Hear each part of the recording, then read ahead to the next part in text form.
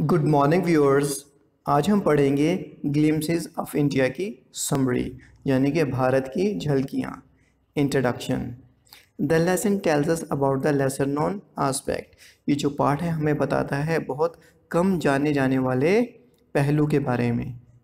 Each of Goa Coorg Assam जो कि गोवा कुर्ग आसाम के बारे में बताए गए हैं. Goa is known for its churches Goa अपने गिरजाघरों के बारे में, कल्चर, संस्कृति, म्यूज़िक, संगीत, बीचेस, समुद्री तट, एंड सीनिक ब्यूटी और सुंदर दृश्यों के बारे में, के बारे में जाना जाता है। But an important role played by the baker लेकिन एक महत्वपूर्ण भूमिका जो कि बेकर के द्वारा निभाई जाती है in a traditional Goan village एक पारंपरिक गोवा के गाँव में। Is not really known to the outsider ये वाकई में ही बाहर के लोगों को नहीं पता इसके बारे में। सिमिलरली इसी तरह से the author provide information about Coorg author हमें कुर्ग के बारे में जानकारी मुहैया करवाता है। इट्स वेल्ट्रस पीपल यहाँ के बहादुर लोगों के बारे में एंड इट्स सीनिक ब्यूटी और यहाँ के सुंदर दृश्यों के बारे में। Assam is describe for the vastness of the lush green tea garden found here Assam को चिन्हित किया जाता है, उसके बारे में विस्तार से बताया जाता है, उसकी विस्तार और बहुत बड़े बड़े चाय के बागानों के लिए, ठीक है? जो कि यहाँ पर पाए जाते हैं। The author provides three unique glimpses of India जो ऑथर हमें तीन अद्भुत भारत की झलकियाँ दिखाता है by describing the assess of each of these places हर जगह के महत्व के बारे में बताकर वो हमें भारत की झलकियाँ दिखाता है। तो सबसे पहला पार्ट है a baker from Goa okay इसकी हम समरी करेंगे सिर्फ़ summary the author tells us that his elders usually thought fondly of old Portuguese days author हमें बताता है कि उसके जो बुज़ुर्ग हैं, वो आज भी बहुत ही प्यार से, स्नेह से पुराने पोर्तुगीज़ दिनों को याद करते हैं। When a baker use to play a very important role जब एक बेकर बहुत ही महत्वपूर्ण रोल अदा किया करता था, बेकर मतलब नान भाई, बेक करने वाला and the loaves of bread और जो ब्रेड के जो रोटियाँ थीं, उसके जो टुकड़े थे were a part and parcel यानी कि अभिन्न अंग हुआ करती थी of the Portuguese bakeries Portuguese bakeries की, यानी कि पुर्तगीज़ भट्टियों का ये अभिन्न अंग हुआ करती थी, क्या? जो ब्रेड्स थी, ठीक है ना? वो उनकी रोटियाँ। द पोर्तुगीज़ आर गॉन अब पुर्तगीज़ हैं, जा चुके हैं। But the bakers are still there लेकिन जो बेकर्स हैं, अब आज वहाँ पर आज भी मौजूद हैं। And so there so are there mixers इसलिए वहाँ उनके जो मिश्रण हैं द मोल्डर्स उनके जो सांचे हैं एंड द फर्निसेस और उनकी जो भट्टियाँ, वो आज भी वहाँ पर मौजूद हैं। The baker still parades the streets of some Goan village जो बेकर है, वो आज भी चलत फिरत करता है कहाँ पर? गोवा के गाँव की कुछ गलियों में। कैसे? With third and jingle of his traditional bamboo यानी कि अपने पारंपरिक बाँस की धमक धमकदार धमाकेदार और झंकार वाली आवाज़ के साथ। वो आज भी चलत फिरत करता है कहाँ पर? गोवा के गाँव की गलियों में। इन द मॉर्निंग कब? सुबह में। The sons of old bakers still carry on the family business जो बेटे हैं, जो बेकर्स बूढ़े हो चुके हैं, जो उनकी जो औलादे हैं, उनके जो बेटे हैं, वो आज भी इस व्यापार को, इस काम को आगे बढ़ा रहे हैं, चला रहे हैं एंड आर नोन एज पटेट्स इवन टुडे और आज भी उनको पडेट्स नाम से जाना जाता है। The author fondly remembers that author बड़े स्नेह से, बड़े प्यार से याद करता है that when he was a child जब वो बच्चा हुआ करता था the baker would visit the street जो बेकर था, वो गलियों में आया करता था ट्वाइस डेली हर रोज़ दो बार। वंस इन द मॉर्निंग एक तो बार सुबह को when he started his selling mission जो वो अपने बेचने की प्रक्रिया को शुरू शुरू करता था and again on his return trip और एक बार फिर जब वो वापस आता था, अपने सारा कुछ बेच कर यानी कि एम्पनिंग हिज बास्केट अपने बास्केट को खाली करके। The children loved the jingling third of his bamboo जो बच्चे थे उसको, जो झनकार वाली जो आवाज़ थी, बाँस की जो झनकार वाली आवाज़ थी, वो बहुत ज़्यादा पसंद थी and ran to welcome him जो बच्चे थे, उसका स्वागत करने के लिए वो दौड़े जाते थे। They would run out for the sweet bread bangles मतलब वो मीठी ब्रेड बैंगल्स के लिए ब्रेड की बनी हुई जो चूड़ियाँ हैं, उनके लिए भागा करते थे and selected them very carefully और उनको बड़े ध्यान से चुना करते थे from the bakers basket baker की टोकरी में से। The bakers presented an interesting sight जो बेकर्स थे, वो बहुत ही दिलचस्प नज़ारा प्रस्तुत किया करते थे इन द मॉर्निंग सुबह में कैरिंग हिज ह्यूज बास्केट जब वो अपनी भारी और एक बड़ी टोकरी ले जाया करते थे ऑफ़ लोव्स यानी कि बेड्स की। The jingling sound of his bamboo stick brought out the lady of the house यानी कि जो बाँस की जो झनकार वाली आवाज़ थी, वो घर की औरतों को बाहर ले आया करती थी। And if the children flocked round the baker अगर बच्चे बेकर के आसपास भीड़ इकट्ठी कर दिया करते थे, झुंड बना लिया करते थे they were reviled and poised back उनको झिड़का जाता था और उनको पीछे धकेल दिया जाता था। However the stubborn children manage to peep लेकिन फिर भी जो बहुत ज़्यादा ज़िद्दी बच्चे थे, वो किसी न किसी तरह से वो झाँक लेते थे इनटू द बास्केट टोकरी के अंदर by climbing on a bench or the parapet bench पर चढ़कर या फिर किसी दीवार या रेलिंग पर चढ़कर वो बास्केट में झाँक लिया करते थे। Marriage gift had no meaning जो शादी के उपहार थे, उनका कोई मतलब नहीं था। विदाउट स्वीट ब्रेड बिना मीठी ब्रेड के, जिसको बोल के नाम से पुकारा जाता था। Thus the baker was a very important part इस तरह से जो बेकर था, वो बहुत ही ज़्यादा महत्वपूर्ण हिस्सा था पार्ट ऑफ़ अ विलेज गाँव का एक बहुत महत्वपूर्ण हिस्सा था। कौन? Baker the lady of the house was expected to prepare sandwiches यानी कि घर की औरत से आशा की जाती थी। कि वो सैंडविचेस बनाए at the time of her daughter's engagement अपनी बेटी की मंगनी के अवसर पर।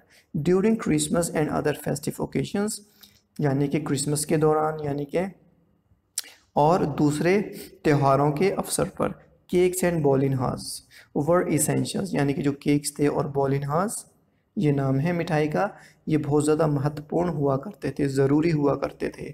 The bread sellers of good old days यानी कि उन पच्छे पुराने दिनों के जो ब्रेड सेलर्स थे always wore a single piece वो एक सिंगल पीस पहना कर रहते थे लॉन्ग फ्रॉक एक लंबी घघरी वाला, कोड़दा कबाई, जिसको हम कबाई के नाम से जानते हैं। आफ्टरवर्ड्स इसके बाद the baker started wearing shirts and three quarters pants उसके बाद जो बेकर थे, उन्होंने शर्ट्स और एक तिहाई पैंट्स जो थी, वो पहनना शुरू कर दी। This dress became synonymous with them so to such an extent यानी कि ये जो पोशाक थी, उन बेकर्स के साथ इतनी ऐसी प्रायवाची हो गई, ऐसी समानार्थी हो गई, इस हद तक हो गई that anyone who wears a half pant कि अगर कोई व्यक्ति भी अगर हाफ़ पैंट पहनता है that reach is below the knees जो कि घुटनों से नीचे तक पहुँचती है इस कोल्ड पडेर उसको पडेर के नाम से जाना जाता है। The author further state that author हमें आगे बताता है that the baker would receive his payment और बेकर जो था अपने, वो पैसे वसूल करता था for the supply of bakery goods अपने बेकरी के सामान की, को बेचने के लिए वो जो नकदी थी, जो पैसे थे, वो प्राप्त किया करता था कब? At the end of the month महीने के आखिर में।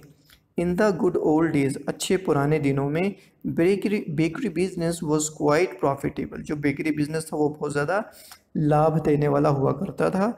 And the bakers and their families were prosperous जो बेकर्स थे और उनके जो परिवार थे, वो बहुत ही ज़्यादा समृद्ध हुआ करती थी। So any person who is roundish इसलिए कोई भी पर्सन कोई भी व्यक्ति जो कि राउंड यानी कि जो मोटा हो एंड प्लम्पिश जो फूला हुआ हो is still compared to a baker. आज भी उसकी तुलना एक बेकर से की जाती है।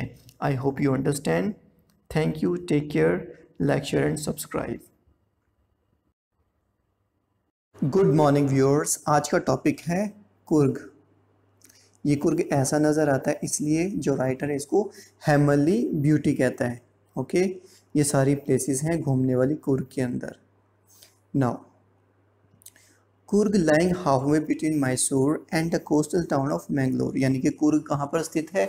मैसूर और मैंगलोर का जो तटीय टाउन है उसके बीच में। Is a small district with heavenly beauty, ये एक छोटी सी डिस्ट्रिक्ट है जिसकी स्वर्गीय सुंदरता है, ठीक है? The author describes this beautiful land, यानी कि जो ऑथर है, इस सुंदर भूमि का वर्णन करता है land situated among the wavy hills एक ऐसी भूमि है जो कि लुढ़कती हुई पहाड़ियों के बीच में स्थित है। Inhabited by a proud race of martial man और यहाँ पर कौन कौन रहता है? लड़ाकू योद्धाओं की गर्वित जाति रहती है। ब्यूटीफुल वीमेन सुंदर महिलाएँ वाइल्ड क्रिएचर्स यानी कि जंगली जानवर। अब वाइल्ड क्रिएचर्स में क्या क्या शामिल हैं? इसको हम लॉरिस बोलते हैं, एक तरह का जानवर है ये। ये मकॉक बोलते हैं इसको। ये किंग फिशर जो कि डाइव करता है मछली पकड़ने के लिए। इसको देखा जा सकता है। महासीर, इस फ़िश का नाम है महासीर। ये फ्रेश वाटर में पाई जाती है। कुर के अंतर ये एक बहुत बड़ी तिब्बतन सेटलमेंट है, जहाँ पर ये सारे मंक्स हम देख सकते हैं। ठीक है ना? अलग अलग कपड़ों में, जैसे रेड है, येलो है। ये इनके सबसे बड़ी तिब्बत की सेटलमेंट है वहाँ पर। ठीक है ना? बायलाकोपा में। ठीक है? इसके अलावा ये निसार गदामा है, ये भी कुर्ग में है, ठीक है? इसके अलावा वहाँ पर छोटे छोटे ट्रेल्स हैं। ट्रेल्स मतलब पैदल चलने की जगह, ठीक है? कैनोपी कैनो की कैनोपी मतलब बड़े बड़े जो पेड़ हैं, उनका, उनकी जो, उनका जो शेल्टर है, उनकी जो छाया है, उसको बड़ी बड़ी कैनोपीज हैं वहाँ पर, जिसके नीचे बंगलोज बने हुए हैं ओके कुर्ग और Kodagu is the smallest district of Karnataka Coorg या फिर कोडागू, ये सबसे छोटी डिस्ट्रिक्ट है कर्नाटक में, लेकिन मतलब कि कर्नाटका का ये सबसे छोटा ज़िला है। It has evergreen forest and is known for its spices and coffee इसके, इसमें सदाबहार जंगल हैं और ये अपनी मसालों के लिए और कॉफ़ी के लिए जाना जाता है। About thirty percent of the area of Coorg is covered with यानी कि कुर्ग का लगभग 30 प्रतिशत हिस्सा किससे ढका हुआ है? एवरग्रीन फॉरेस्ट यानी कि सदाबहार जंगलों से ढका हुआ है। Monsoon bring in a lot of rain here यानी कि मानसून में यहाँ पर बहुत ज़्यादा बारिश होती है। The best time to visit Coorg is between September and March यानी कि कुर्ग जाने का सबसे बढ़िया समय क्या है? मार्च से लेकर सितंबर के बीच में। When the air is refreshing जब हवा ताज़ा होती है एंड वेदर इज़ परफेक्ट और जो मौसम है वो सुहावना होता है। The place teems with coffee estates यानी कि जो जगह है, किससे भरी हुई है? कॉफ़ी ठीक है ना? कॉफ़ी से भरी हुई है, यानी कि कॉफ़ी के बागात हैं वहाँ पर, ठीक है? And bungalows canopied by huge trees यानी कि वहाँ पे बड़े बड़े कॉलोनियल टाइम के बंगलोज हैं, ठीक है? वो कहाँ से, कैसे ढके हुए हैं? बड़े पेड़ों पेड़ों की छाया से वो ढके हुए हैं huge trees the Coorgis are independent people जो कुर्गी होते हैं, अनाश्रित व्यक्ति होते हैं, यानी कि वो किसी दूसरे पर डिपेंड नहीं करते it is believed that they are either Greek और अरेबिक इन ओरिजिन ये विश्वास किया जाता है कि या तो वो ग्रीक या फिर वो अरेबिक वंशज के हैं। अकॉर्डिंग टू वन स्टोरी एक कहानी के अनुसार a part of Alexander soldiers did not return यानी कि अलेक्जेंडर की जो सेना का एक भाग है, उसके कुछ सैनिक जो हैं वो वापस नहीं गए and chose to move to Coorg in south और उन्होंने निर्णय क्या किया? वो साउथ की तरफ़ कुर्ग में जाएँगे। They married local girls and settled here उन्होंने उन लोकल यानी कि जो स्थानीय लड़कियाँ उनसे शादी कर ली एंड सेटल्ड हियर और यहाँ पर वो बस गए। Since the martial temper of Coorgis अब क्योंकि जो लड़ाकू योद्धाओं हैं, जो कुर्गिस जो लड़ा, लड़ाकू योद्धा हैं, उनकी जो बरवीरती है and the practice is followed by them during marriages and religious rites यानी कि जो रीति रिवाज वो अपने शादी ब्याह में, अपने फ़ंक्शंस में अपने धार्मिक कर्म कांडों में यूज़ करते हैं, जो रीति रिवाज are quite distinct from those of the Hindus यानी कि जो रीति रिवाज हैं, वो बिल्कुल अलग हैं हिंदुओं से, यानी कि जो मुख्य धारा हिंदू हैं उनके जो रस्म व रिवाज हैं बिल्कुल अलग हैं। It shows that their origins are from the land of Alexander ये इस चीज़ को दिखाता है कि उनके जो वंशज हैं, उनको जो वंश है वो अलेक्जेंडर की भूमि से है। The Arab origin theory is supported by the traditional dress लेकिन एक दूसरी थ्योरी भी है कि ये जो लोग हैं, इनका जो वंश है, वो अरब का है। कैसे? क्योंकि the traditional dress of the people of Coorg यानी कि जो कुर्ग के लोग जो अपने पारंपरिक जो ड्रेस पहनते हैं, वेशभूषा जो पहनते हैं they wear a long black coat यानी कि जो कुर्गीज होते हैं, वो लंबा काला कोट पहनते हैं tied with an embroidered waist belt जो कि एक बड़ी कढ़ाई की हुई बेल्ट से बंधी होती है। देखो, ये है, ठीक है ना, ये है बेल्ट ठीक है ना कॉल्ड कुपिया तो इसको क्या बोलते हैं हम? कुपिया। ये जो बेल्ट है ना, ये जो आपको नज़र आ रही है, इसे बोलते हैं हम Kupya. Clear? Called Kupya a dress similar to the kufiya worn by the Arabs अब ये देखो, ये जो, ये वाली ड्रेस है, ये इसे कुफिया बोलते हैं। ये अरब के लोग पहनते हैं। ठीक है ना? ये चीज़ इस चीज़ से मिलती जुलती है। तो ये लोगों का मानना है कि शायद ये लोग, लोगों का जो वंशज वंशज हैं, जो वो अरब हैं।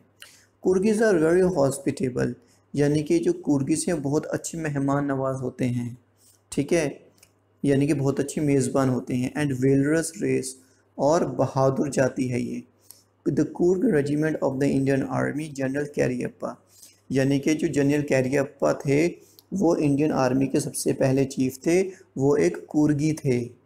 Coorgis are the only people in India who are allowed to carry firearms Coorgi लोग, एक लोते ऐसे लोग हैं जिनको इंडिया में सरकार ने ये आज्ञा दी है कि वो फायर आर्म्स यानी कि गन्स वगैरह रख सकते हैं विदाउट अ लाइसेंस यानी कि बिना बिना लाइसेंस के ये लोग फायर आर्म्स यानी कि गन्स वगैरह रख सकते हैं। यानी कि इंडिया में सिर्फ़ इन लोगों के पास ही ये अनुमति है।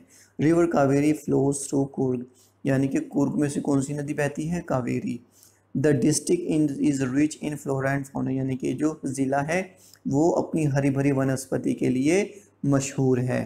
Flora and fauna river rafting canoeing अब ये क्या है वाटर स्पोर्ट्स होती हैं। रिवर राफ्टिंग कैनोइंग देखो, इसे बोलते हैं रिवर राफ्टिंग इसे बोलते हैं कनोइंग ओके और इसे बोलते हैं रपेलिंग यानी कि माउंटेन में से रस्सियों के सहारे नीचे आना, ठीक है? And rappelling are popular water sports यानी कि ये मुख्य वाटर स्पोर्ट्स हैं कुर्ग में। One can also enjoy rock climbing यानी कि हम रॉक क्लाइंबिंग को भी इंजॉय कर सकते हैं, उसका आनंद उठा सकते हैं एंड माउंटेन हाइकिंग और माउंटेन में भी चल सकते हैं mountain hiking when one reach is the top of Brahmagiri hills यानी कि जब कोई ब्रह्मगिरी हिल्स के शिखर पर पहुँचता है one sees a panoramic view and walking over the rope bridge, यानी कि वहाँ से एक बहुत बड़ा सुंदर नज़ारा पैनोरामिक मतलब बहुत दूर तक सुंदर नज़ारा नज़र आता है। Walking over the rope bridge takes one to sixty four एकड़ और वहाँ पर एक रोप ब्रिज है, यानी कि एक पुल है जो रस्सी का बना हुआ है। अगर उसको पार करते हैं तो ये हमें कहाँ पर ले जाता है? चौंसठ एकड़ के एक द्वीप में ले जाता है, ठीक है ना? जिसको निसार गदामा बोलते हैं। The largest Buddhist Tibetan settlement is in Bylakuppe in Coorg यानी कि जो बुद्धिस्ट लोगों की सबसे बड़ी जो सेटलमेंट है, यानी कि सबसे बड़ी बस्ती है, वो भी कुर्ग के अंदर ही है। Okay so I hope you understand the summary ठीक है? अब मैं नेक्स्ट वीडियो में इसकी एक्सप्लेनेशन आपको बताऊँगा। Clear okay thank you so much have nice time take care like share and subscribe good morning viewers आज हम पढ़ेंगे टी फ्रॉम आसाम ये ग्लिम्सिस ऑफ़ इंडिया का तीसरा पार्ट है। Let's get started Pranjol a young boy from Assam जो कि आसाम से है एंड राजवीर और क्लासमेट्स और राजवीर दोनों सहपाठी हैं in a school in Delhi Delhi के एक स्कूल में। यानी कि प्रांज प्रांजोल जो है वो आसाम से है, और राजवुल दोनों सहपाठी हैं दिल्ली के एक स्कूल में। Pranjol's father is a manager of a tea garden in Assam Pranjol के जो पिताजी हैं, वो आसाम में एक चाय के बगान के मैनेजर हैं। Rajveer is travelling to Assam along with Pranjol. अब राजवीर प्रांजोल के साथ यात्रा करने वाला है आसाम की to spend his summer holidays अपने गर्मियों की छुट्टियाँ बिताने के लिए विद प्रांजोल्स फैमिली प्रांजोल्स की फैमिली के साथ, उसके परिवार के साथ वो छुट्टियाँ बिताने कहाँ जा रहा है? आसाम में। The train holds at a station अब जो ट्रेन है स्टेशन पर रुक जाती है अ वेंटर शाउट्स चाय गरम गरम चाय. एक फेरी वाला चिल्लाता है, चाय गरम गरम चाय. The two boys order tea for them them जो दो लड़के हैं, वो चाय लेते हैं एंड एन्जॉय स्प्रिंग इट और इसकी, चुस्की का आनंद लेते हैं। Almost all the passengers in the compartment are enjoying hot tea यानी कि जो दूसरे यात्री हैं डब्बे के अंदर, वो सारे तकरीबन चाय का आनंद ले रहे हैं। राजवीर इन्फॉर्म्स प्रांजोल राजवीर प्रांजोल को बताता है that eighty crore cups of tea are consume daily के लगभग 80 करोड़ चाय के कप रोज़ खपत किए जाते हैं या के पिए जाते हैं daily throughout the world पूरे संसार में। As the train moves forward जैसे ट्रेन आगे बढ़ती है Rajveer is excited to see the magnificent scenic beauty Rajveer उत्तेजित हो जाता है उस शानदार, कुदरती सुंदरता को देखकर of the vast expanse of the tea estates यानी कि चाय के बागात जो दूर दूर तक फैले हुए हैं, उनके शानदार सुंदरता को देखकर वो उत्तेजित हो जाता है. At the back one can see dense hill forest यानी कि उसकी जो बैकग्राउंड है, वहाँ पर बड़ी बड़ी जंगली पहाड़ियाँ हैं and in front of the hill और जो पहाड़ियाँ उसके सामने there are vast stretches of tea bushes और उसके जो सामने हैं, चाय के बहुत दूर तक विस्तृत विस्तृत चाय की झाड़ियाँ हैं। Rajveer is thrilled to see the tea garden अब राजवीर जो है बहुत ही ज़्यादा रोमांचित हो जाता है चाय के बाग देखकर। However it is a routine sight for Pranjol हालाँकि ये रोज़ का दृश्य है प्रांजोल के लिए as he was born and brought up in these surroundings क्योंकि वो यहीं पर पैदा हुआ और यहाँ भी यहाँ पर ही उसका पालन पोषण हुआ इस वातावरण में। He tells Rajveer that Assam has the largest concentration of the tea plantation in the world वो राजवीर को बताता है कि आसाम में दुनिया के सबसे बड़े चाय के बागान हैं। Rajveer also tells Pranjol that Rajveer जो है प्रांजुल को ये भी बताता है he has read a great deal about tea कि उसने चाय के बारे में बहुत कुछ पढ़ा है and knows about a few legends और वो कुछ कहानियों के बारे में भी जानता है regarding the origin of tea tea की उत्पत्ति के बारे में जो हैं। One stories about a Chinese emperor एक तो कहानी चाइना के सम्राट के बारे में है। Who always use to drink boiled water जो हमेशा उबला हुआ पानी पीता था once a few leaves of the twigs burning underneath the water एक बार क्या हुआ? कुछ पत्ते जो टहनी में जल रहे थे फेल इन टू इट उस बर्तन में गिर गए। The emperor found the flavour delicious जो सम्राट है उसका जो आ, पानी का जो स्वाद है वो बहुत ज़्यादा अच्छा लगा मनमोहक लगा and it its leaves got the name tea और इसके पत्तों का नाम चाय के पत्तियाँ पड़ गया। Rajveer also tells of an Indian legend अब रा, राजवीर जो है एक भारतीय कहानी के बारे में बताता है अबाउट बौद्धि धर्मा जो कि बौद्धि धर्मा के बारे में है जो कि एक अब बुद्धिस्ट था असेटिक एक बुद्धिस्ट मंक था भिक्षु था who was troubled with sleep during meditation जिसको ध्यान लगाते समय नींद बहुत सताती थी। So he cut off his eyelids इसलिए उसने अपने पलकों को काट लिया and ten tea plants grew out of those lids और वहाँ से दस चाय के जो पौधे थे वो उगे। Drinking the leaves of these plants यानी कि इस पत्तों के, इस इस पौधे के पत्तों को पीकर when put in hot water जब इनको गर्म पानी में डाला जाता है केप्ट अ पर्सन अवेक एक व्यक्ति को जगा कर रखते हैं। Tea was drunk in China for the first time यानी कि चाइना में जो चाय थी पहली बार, कब पी गई? Around twenty seven hundred B C सत्ताईस सौ बी सी के लगभग पी गई। Rajveer further adds that Rajveer आगे बताता है दैट चाय, चीनी एक्सेट्रा चाइनीज़ वर्ड्स यानी कि जो चाय है, चीनी है, ये क्या है? चाइनीज़ शब्द हैं। एंड स्टैंड फॉर टी और इनका मतलब चाय होता है।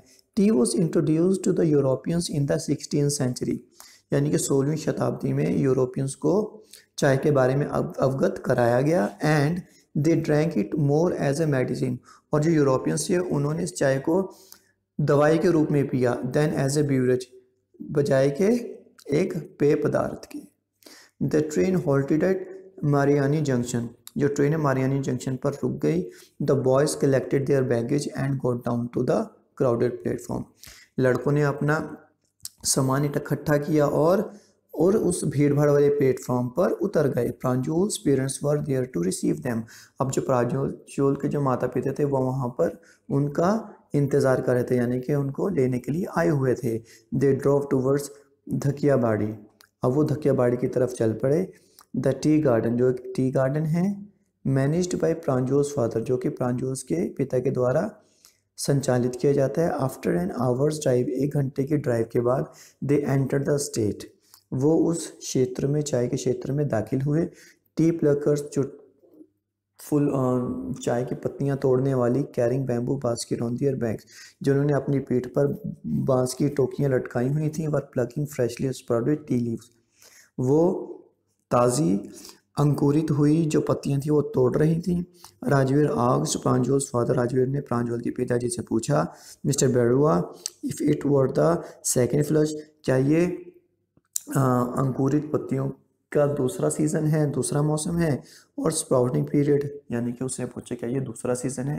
तो जो मिस्टर बैरवा थे, उसके जो पिताजी बहुत खुश हुए, उन्होंने कहा, राजवीर से कि शायद वो अपना गृह कार्य पहले से करके आया है, यानी कि उसने पहले ही बहुत सारी इंफॉर्मेशन जो है वो गैदर की है, इकट्ठी की है। ठीक है I hope you understand take care have a nice time